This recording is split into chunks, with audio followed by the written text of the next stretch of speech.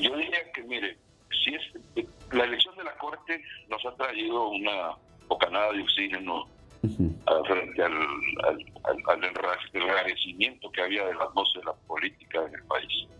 Pero eh, ahora lo que, lo que corresponde es que la ciudadanía le exija a la Corte que actúe en consecuencia, que responda a las necesidades de esos reclamos que el pueblo tiene.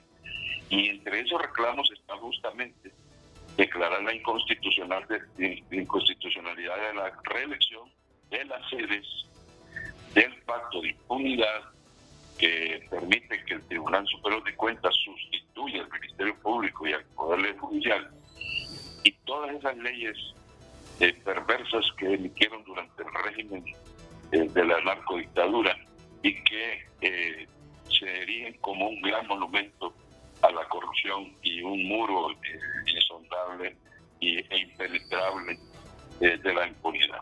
Así es que tienen ese gran compromiso. La sala constitucional tiene que hacerlo, pero también hay otro compromiso.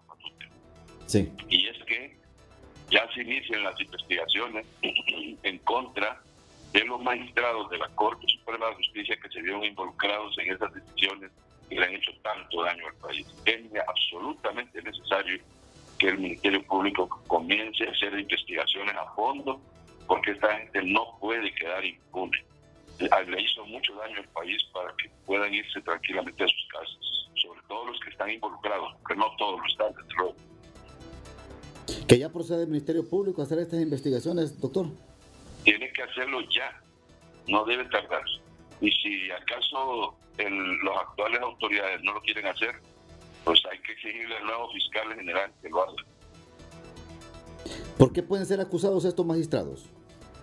hay Miami, de todas las barbaridades que hicieron. que el daño que se le hizo al país, se le hizo a través del Poder Judicial, porque fue quien protegió a los delincuentes.